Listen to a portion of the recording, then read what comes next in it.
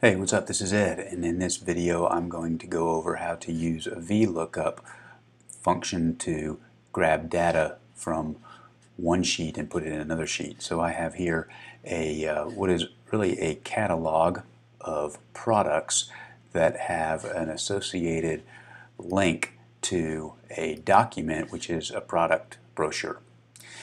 And uh, I have also here a uh, sheet of what is transaction data, which I've compiled into a pivot table um, which shows the volume of transactions by product.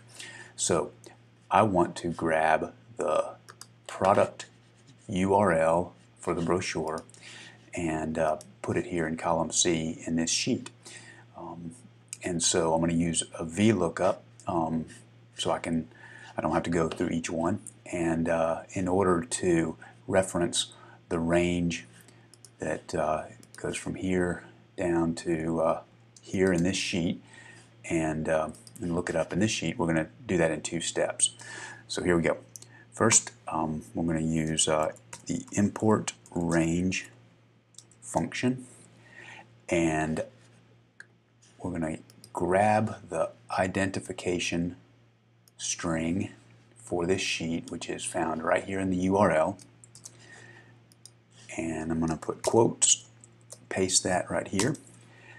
And now um, we need to associate uh, the range in the particular sheet or tab uh, with that. So um, that range is A2 to F130 and the tab is called spec sheet list. So we will go quote spec sheet list an exclamation point and then the range A2 to F130 and uh, I'm actually going to make that a fixed range.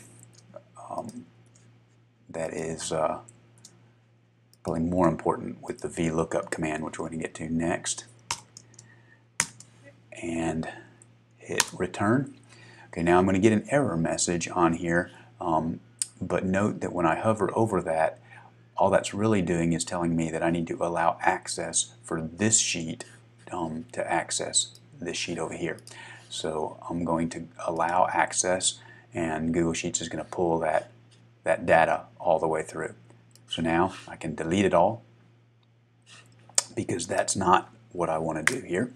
Um, instead, I want to go ahead and use my VLOOKUP. So now that the, that range of the other sheet is associated with this sheet is I can go and start start building out my um, my function.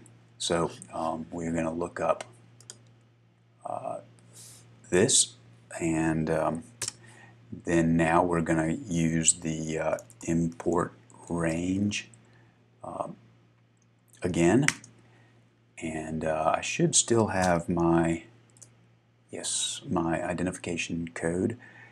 So now we're essentially using the same um, function uh, variables.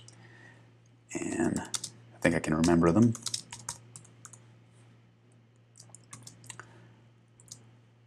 A 2 F 130. And again, I've used the um, I've used the um, dollar signs to make that a fixed range. And then um, I want to go over one, two, three, four, five, six columns. Six. And it looks like I have done have I done something wrong here? Oh, I need to put it, there we go. Um,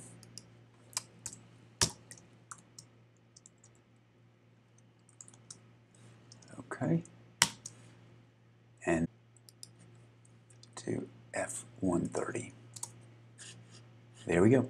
There's my URL. So I, that should tie, if I highlight that, that should tie back to uh, the associated document.